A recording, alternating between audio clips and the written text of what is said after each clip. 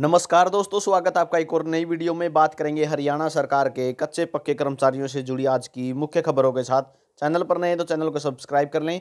इसी तरह हर रोज अपडेट हम लेकर आते रहते हैं। तो दिवाली से पहले मुख्यमंत्री मनोहर लाल का बड़ा तोहफा, तीन लाख से ज़्यादा सरकारी कर्मचारियों को एक जुलाई से मिलेगा चार प्रतिशत डी का लाभ। तो जो महँगाई बताओ, बयालीस परसेंट से बढ़ा के छियालीस परसेंट कर दिया गया है और लगभग तीन लाख कर्मचारियों को इसका फ़ायदा होगा। अगली खबर है हरियाणा के नगर निगम के जो मेयर हैं, उनको तीस हज़ार रुपये सैलरी मिलेगी अब और परिषद अध्यक्ष को अठारह हज़ार और समिति अध्यक्ष को दस हज़ार रुपये मिलेगा। माननीय मनोहर लाल जी ने कल इसकी घोषणा कर दी। प्रेस कॉन्फ्रेंस के माध्यम से यह घोषणा की गई है। तो इस तरीके से अब इनको सैलरी में वृद्धि दी जाएगी।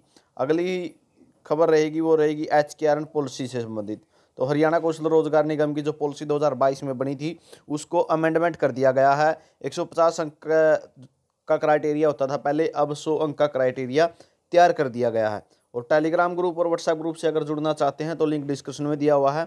वहाँ पे हर अपडेट डाली जाती है। तो कौशल रोज़गार निगम की अस्थायी नौकरी देने से पहले जो अब है, सौ नंबर का क्राइटेरिया देखा जाएगा। फैमिली आईडी की इनकम उम्र आईटीआई के नंबर, सामाजिक आर्थिक मानदंड के नंबर सीईटी के नंबर और होम डिस्ट्रिक्ट के नंबर और एक्सपीरियंस के नंबर सभी जोड़ के जो है अब कैंडिडेट को नौकरी दी जाएगी। अंत्योदय परिवार के पहले पचास नंबर मिलते थे, उनको ख़त्म कर दिया गया है। अगली खबर रहेगी, यमुनानगर से मांगों को लेकर जो है कर्मचारियों ने सौंपा ज्ञापन। तो ग्रामीण सफ़ाई कर्मचारी संघ ने जो है अपना ज्ञापन सौंपा है यमुनानगर के अंदर और इनकी लगातार हड़ताल चल रही है। मांग है कि वेतन जो है बढ़ाया जाए। और पक्के कर्मचारी का दर्जा दिया जाए। यही खबर करनाल से रहेगी। पंचायत मंत्री के आवास पर पड़ाव डालेंगे ग्रामीण सफ़ाई कर्मचारी। सफ़ाई कर्मचारी ने अधिकार रैली कर मांगी पक्की नौकरी और छब्बीस हज़ार रुपये न्यूनतम वेतन की मांग कर रहे हैं, ठीक है? और जो महँगाई भत्ता है, वो भी पक्के कर्मचारियों की तरह ही बढ़े और जो बोनस हैं, वो भी दिए जाएँ। तो अगली खबर रहेगी, वो रहेगी आंगनबाड़ी वर्कर से। सिरसा से खबर रहेगी, आंगनबाड़ी वर्कर ने मांगों को लेकर जो है धरना दिया है। आशा वर्कर के बाद जो है आंगनबाड़ी वर्कर भी और हेल्पर भी, ठीक है, और मिड डे मील वर्कर भी तो इनके धरने भी चले हुए हैं। जिला भर में आंगनबाड़ी वर्कर ने, हेल्पर्स ने बृहस्पतिवार को लघु सचिवालय में अपनी मांगों को लेकर, समस्याओं को लेकर जो है प्रदर्शन किया है। तो इनकी जो मुख्य मांग की बात करें तो अक्सर आंगनबाड़ी वर्कर आंदोलन के दौरान दर्ज किए गए मुकदमे रद्द किए जाएँ, बर्खास्त वर्करों को बकाया मान्यता भी जारी किया जाए। पंद्रह सितंबर 2022 से महँगाई भत्ते की नई किस्त को मान्यता में जोड़कर जारी किया जाए। और वर्दी की राशि जो है दो हज़ार रुपये तक बढ़ाई जाए, ठीक है? और वर्करों व हेल्परों की, के खाली पड़े पदों पर स्थायी भर्ती हो, उन्होंने कहा कि आंगनबाड़ी वर्कर व हेल्पर के मानदेय में बढ़ोतरी हो और न्यूनतम वेतन छब्बीस हज़ार रुपये किया जाए।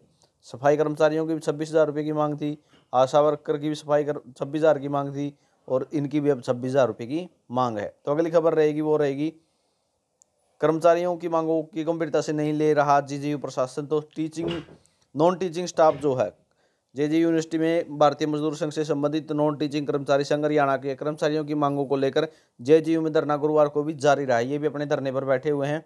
तो जे जे यूनिवर्सिटी है जो इन पर ध्यान नहीं दे रही है।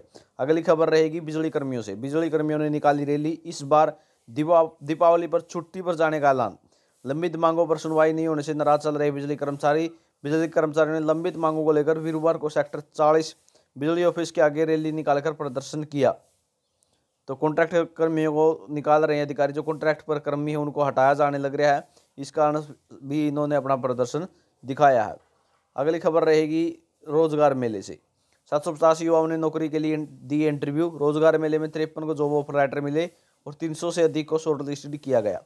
तो ये रोज़गार मेला लगाया गया था रोहतक के अंदर। हरियाणा राज्य ग्रामीण आजीविका मिशन योजना के तहत जिला विकास भवन में रोज़गार मेले का आयोजन किया गया। इसमें युवाओं ने इंटरव्यू देकर नौकरी पाई। तीन सौ से अधिक युवाओं को शॉर्ट लिस्टेड किया गया है और तिरपन बच्चों को जॉब ऑफ़र लेटर दिए गए हैं। प्राइवेट कंपनी के तहत ये जो है नौकरी दी गई है। अगली खबर रहेगी हेल्थ वर्करों से। तो इकसठ हेल्थ वर्करों को तीन महीने से वेतन नहीं मिला। पाँच दिन बाद चौथा महीना भी खत्म हो जाएगा। कर्मचारी बोले, लोग दिवाली पर बोनस का इंतज़ार कर रहे हैं और हमें सैलरी भी नहीं मिली है। मुख्यमंत्री मुफ़्त इलाज योजना बजट से मिलती है कर्मचारियों को सैलरी। तो कर्मचारियों ने बताया आईपीएचएस यानी कि Indian public health standard norms के तहत तकरीबन चौदह साल पहले ज्वाइनिंग हुई थी। उस वक्त तकरीबन तिहत्तर कर्मचारियों ने ज्वाइन किया था। उसके बाद कुछ कर्मचारी रेगुलर हो गए और आईपीएसएच के तहत कई सालों से काम कर रहे एक कर्मचारी को कोविड में डेथ भी हो गई थी। अभी इन कर्मचारियों को मुख्यमंत्री मुफ़्त इलाज योजना स्कीम फंड से सैलरी मिलती है। तो ये जानकारी रहेगी कच्चे पक्के कर्मचारियों से जुड़ी हर अपडेट हम इसी तरह हर रोज़ लेकर आते रहते हैं। चैनल को सब्सक्राइब ज़रूर कर लेना। ऐसी अपडेट आपको मिलती रहेगी। वीडियो आपने देखा, इसके लिए बहुत बहुत धन्यवाद। आपका दिन शुभ हो।